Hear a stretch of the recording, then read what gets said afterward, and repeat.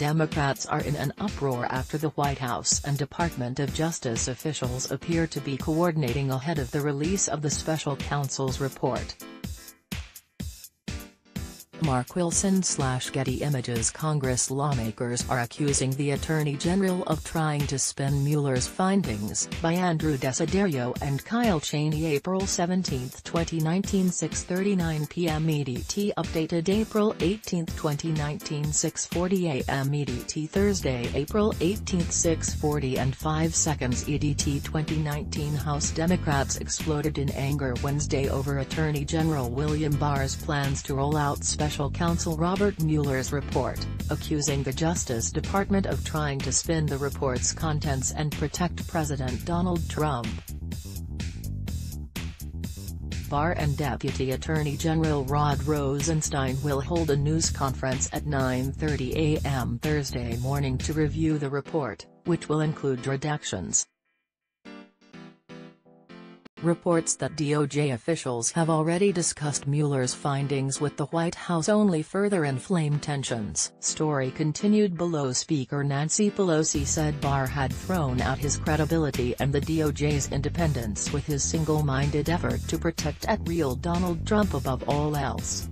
The American people deserve the truth, not a sanitized version of the Mueller report approved by the Trump admin, Pelosi wrote on Twitter while on an official trip in Ireland.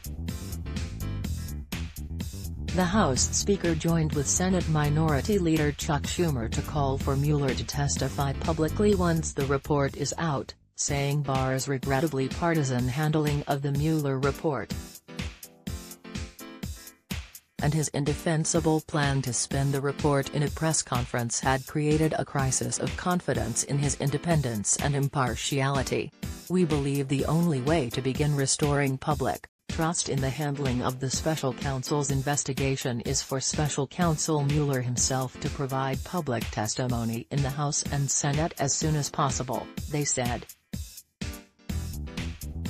Politico Playbook newsletters sign up to date to receive the number one rated newsletter in politics by signing up you agree to receive email newsletters or alerts from Politico. You can unsubscribe at any time. Democrats on the House Judiciary Committee hastily convened a news conference for Wednesday night in Chairman Jerry Nadler's district in New York City to issue similar broadsides against Barr. I'm deeply troubled by reports that the WH is being briefed on the Mueller report ahead of its release, Nadler tweeted before the press conference. The New York Democrat added that DOJ informed him that Congress would not receive the report until around 11 a.m. or 12 p.m. Thursday. This is wrong, Nadler added. At the news conference, Nadler said that Barr appears to be waging a media campaign on behalf of President Trump, the very subject of the investigation at the heart of the Mueller report. Nadler also reiterated that he was likely to ask Mueller to testify, and added that it might also be useful to ask members of Mueller's team to testify. The leaders of the House Intelligence Committee made a bipartisan request last month for Mueller and his team to brief them on their findings as well. Republicans said little about the drama unfolding late Wednesday, but Rep. Doug Collins, Republican Georgia, the top GOP lawmaker on the Judiciary Committee, chided Nadler for his attack on Barr. The only person trying to spin the report is at Rep. Jerry Nadler, Collins tweeted. The AG has done nothing unilaterally. After partnering with Dag Rosenstein to share principal conclusions, Barr is releasing the report voluntarily, working with Mueller's team step by step. A Senate aide confirmed that lawmakers didn't expect to receive Mueller's report until 11 a.m. on Thursday, after Barr and Rosenstein's news conference, and that a discussion about providing a less redacted version to Congress wouldn't begin until Friday. DOJ officials indicated that Congress would receive the redacted report on CDs, and it was unclear when reporters would receive it or when it would be posted online for the general public. Mueller's probe focused on Russia's attempt to interfere in the 2016 election and whether any associates of Trump aided the scheme.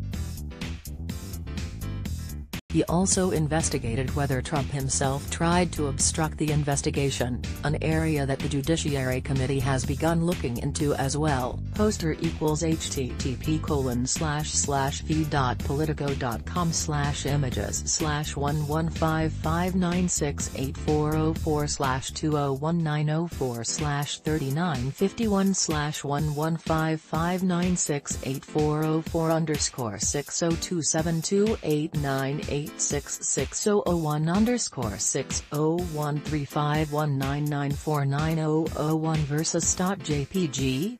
Pubid equals 115596840 True Neither Mueller nor anyone else from the special counsel's prosecution team will be in attendance at the Barr News conference, Mueller spokesman Peter Carr told Politico.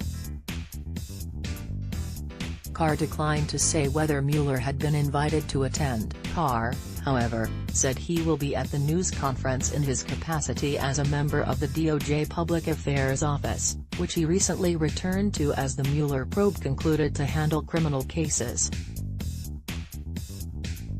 Democrats also were incensed that Trump, in a radio interview, revealed Barr's press event minutes before the Justice Department officially announced it, another suggestion that the White House and Justice Department were coordinating ahead of the report's public release.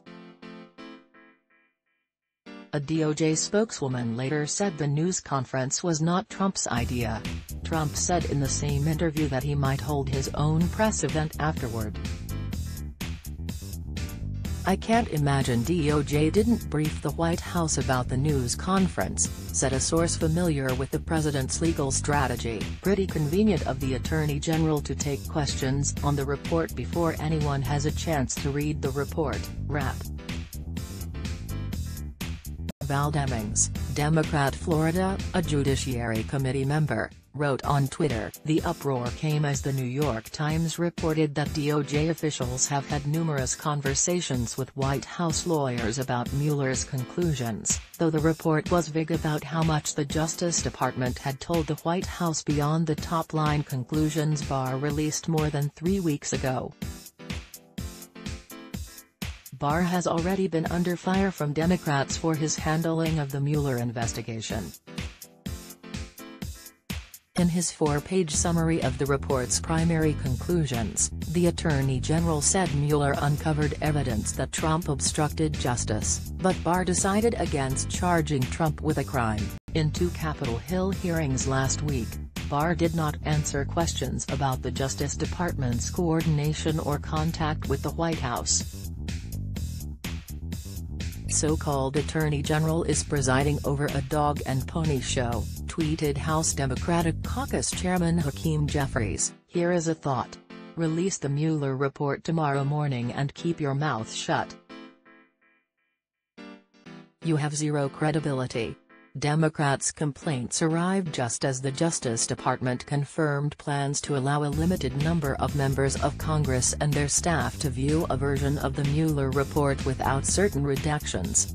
But rather than give these lawmakers a copy, DOJ officials said in a court filing they would secure this version of the report in an appropriate setting only available to these few lawmakers and aides. Barr has indicated he intends to redact four categories of information from the report, grand jury evidence, classified information, evidence related to ongoing investigations and information that could be embarrassing to peripheral third parties. Lawmakers have argued they should see the entire report and that Republicans received access to nearly all of those categories of information in their own efforts to probe the origins of the Trump-Russia investigation.